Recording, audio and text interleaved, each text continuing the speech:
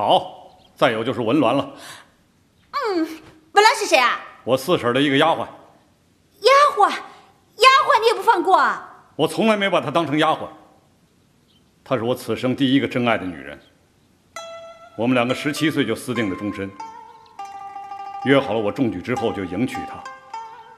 可是没想到二十岁那科，我没考中，后来一直留在京城苦读。二。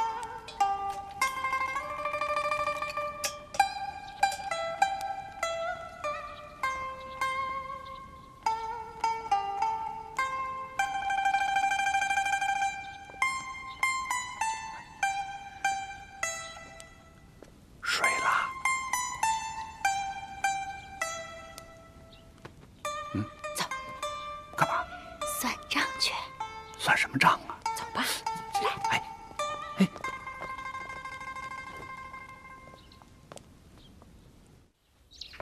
哎你说咱们算什么账啊？咱们草堂所有开销不都你管着吗？有什么可算的？你以为我跟你算流水账啊？我是要跟你算风流账。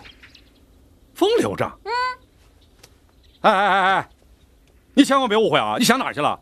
这钱钱跟我可一点关系都没有啊！哼，他有没有关系啊？你说了不算，我说了算。不是你，你这就不讲理了！你凭什么你说了算啊？你又不是我娘。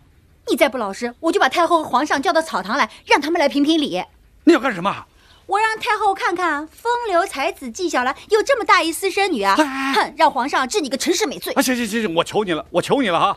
小月姑娘，我告诉你，皇上这几天正抓我把柄，抓不着呢，你可千万别干那种事儿。那好啊，那你从实招来，我宽大处理，快说。哎呦，行行行行，哎呦喂，好，我招。呃，这个前两天吧，我这个前两天的我不要听。芊芊也不小了。你啊，就从二十年前开始算起吧。这二十年前的陈芝麻烂谷子事也得往外倒啊，一个都不能落。好，好。哎呀，二十年前倒是有一个姑娘，好像一江湖卖艺的会唱戏，人人长得像莲花一样，可漂亮了。有俩酒窝，你知道，我就喜欢有酒窝。老实点啊，光说你干了什么就行。我说，那屋里是说，屁。这几个听起来都不像芊芊的娘，再招！我跟你说啊，能招的我可全招了。哼，风流才子纪晓岚，才区区这几个啊，太不相称了吧？好，再有就是文鸾了。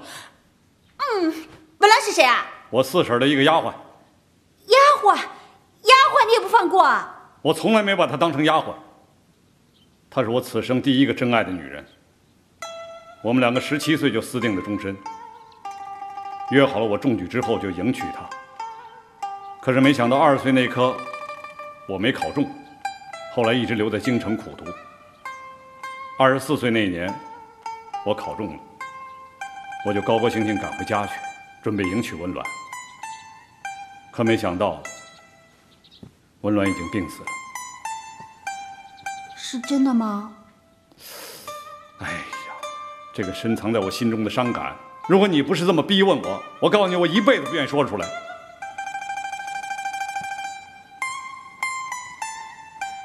先生，对不起，我不该问你这些的。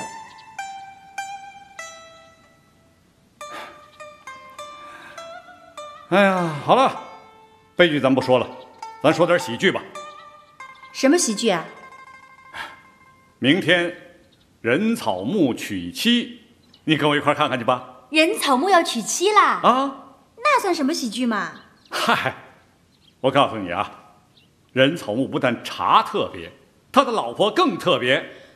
他老婆有什么特别的呀？他的老婆呀，是和珅的十三夫人。啊？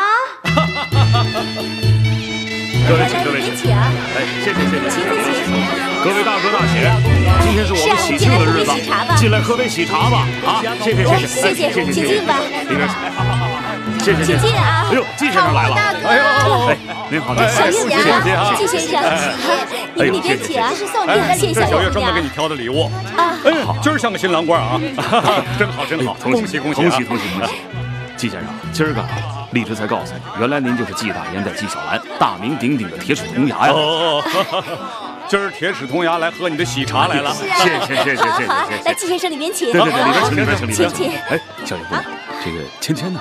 啊啊芊芊啊啊听纪先生说灵山有补天泉所以呢一大早就赶过去了三五天才能回来所以啊赶不上你的婚礼了。斗茶大会啊比的不是茶而是水。芊芊能够先知道去找水，看来是懂茶了。嗯，好您里边请。好。哎呀，恭喜草木兄！谢谢谢谢，恭喜恭喜恭喜！这儿坐这儿坐，坐坐坐。哎，先生，他问芊芊的事了吗？我跟草木说了，他一点也没有起疑心。快摆好了。可是我现在担心和珅不会放过他的。哎，这你不用担心，和珅已经写了休书了。可是你别忘了，和珅那封休书啊，是你逼他写的。要不是为了芊芊，和珅能写那封休书吗？哎，我觉得不管怎么样，反正休书已经写了。现在大家是井水不犯河水，他能怎么样啊？和珅什么时候吃过这种大亏啊？这份休书啊，也许会点燃他心头的怒火。我真担心，他会使出什么报复的手段来。哼，我早就做好准备了。要不我拉你来干嘛？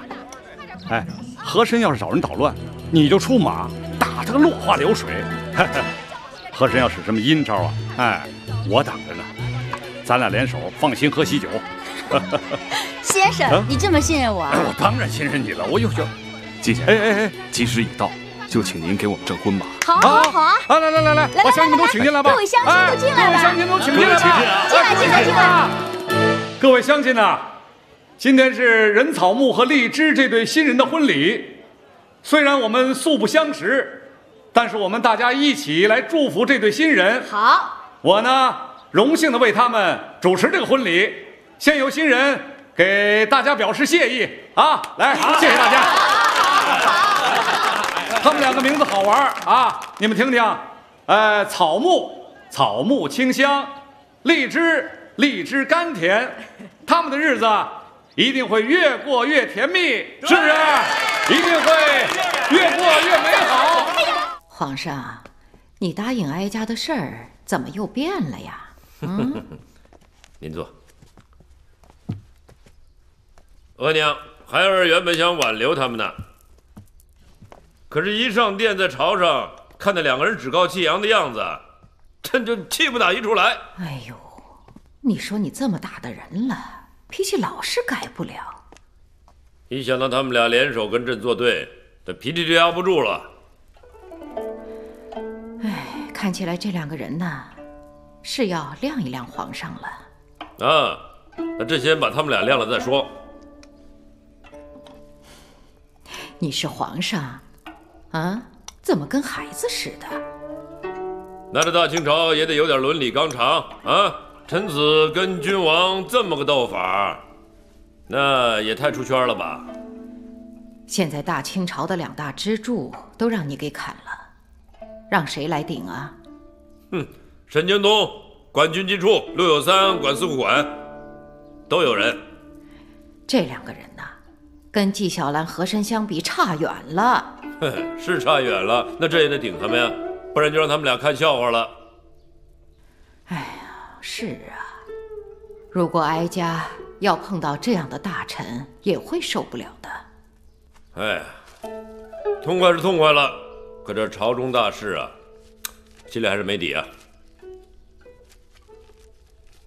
哟，额娘，您看敖经呢？啊，这是当年雍正爷写的文章。雍正爷说过：“皇帝不是当的，是熬出来的。”可不是嘛！一个“熬”字道出了多少帝王的心酸呢？是啊，当年雍正爷当皇帝的时候，有多少人呢？不服气，谣言满天飞呀！雍正爷这皇帝，就是熬出来的。做个皇帝不容易啊，可真不容易啊。